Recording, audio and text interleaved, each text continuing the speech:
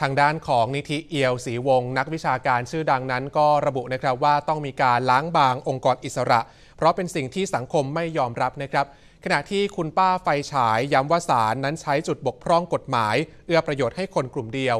ส่วนเรือตรีฉลาดวรชัดเผยว่าต้นต่อปัญหานั้น มาจากรัฐธรรมนูญฉบับปี 2550 ครับภายหลังจากที่ศาลรรัฐธรรมนูญมีมติให้การเลือกตั้งเมื่อวันที่ 2 กุมภาพันธ์ที่ผ่านมาเป็นโมฆะ ส่งผลให้เกิดเสียงวิพากษ์วิจารณ์ในแง่ลบเป็นอย่างมาก ล่าสุดนะครับนายนิธิเอียวศรีวงศ์นักวิชาการอิสระเปิดเผยว่า เมื่อองค์กรอิสระทำตัวให้สูญเสียความชอบธรรม ในสายตาของสังคม หากเกิดการรัฐประหาร รัฐบาลชุดต่อไป คงไม่เอาองค์กรอิสระไว้เช่นเดียวกัน ซึ่งหากมีรัฐบาลนอกกฎหมาย หรือนายกคนกลางขึ้น ก็จะเกิดการต่อต้านและรัฐบาลชุดใหม่คงไม่คิดสั้น สั่งทหารปราบปราม เพราะปราบยังไงก็ไม่ไหว วิธีการเดียวที่ทำได้ก็คือประนีประนอมกับกลุ่มต่อต้าน และล้างบางองค์กรอิสระ เพราะกลายเป็นสิ่งที่น่าขยะขยง ไม่ว่าใครขึ้นมาเป็นรัฐบาล ต้องแก้ไขรัฐธรรมนูญ ฉบับปี 2550 เพราะถูกปู้ยี่ปู้ยำโดยองค์กรอิสระมากไปแล้วขณะที่นางพิจาริณีรัตนชำนองหรือคุณป้าไฟฉายกล่าวนะครับว่าคำตัดสินของศาลเป็นประโยชน์ให้กับคนบางกลุ่ม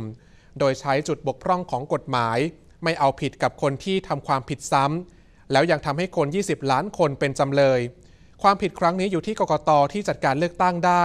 ทั้งๆทที่สามารถแก้ไขปัญหาได้ ส่วนนางสุวินันชัยปราโมทสาวใจกล้าที่ปีนรั้วไปลงคะแนนเลือกตั้ง แสดงความเห็นว่าเป็นการแก้ไขปัญหาแบบเก่าไม่ถูกที่คัน เพราะต้นเหตุของปัญหาคือคนที่ขัดขวางการเลือกตั้ง คำตัดสินในลักษณะนี้เป็นการทำลายหัวใจของผู้ที่รักประชาธิปไตย โดยไม่ถามถึงความรู้สึกของคน 20 ล้านคน ว่าคิดอย่างไรบ้าง เป็นการเห็นคนไม่เท่ากัน 2 มาตรฐาน ความแตกแยกของคนในชาติเกิดขึ้น เพราะองค์กรอิสระที่บีบคั้น ให้คนรักประชาธิปไตยต้องออกมาต่อสู้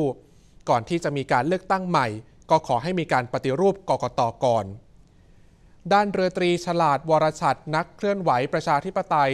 เดินทางมาประท้วงคำตัดสินของสารรัฐธรรมนูญ บริเวณหน้าอาคารรัฐสภา เมื่อวันที่ 22 มีนาคมที่ผ่านมา พร้อมเปิดเผยนะครับว่าต้นเหตุของปัญหา ก็คือการออกแบบรัฐธรรมนูญปี 2550 ที่บีบรัฐรัฐบาลที่มาจากการเลือกตั้งมากเกินไป และที่สำคัญก็คือปล่อยให้องค์กรอิสระมีอำนาจเหนือประชาชนครับ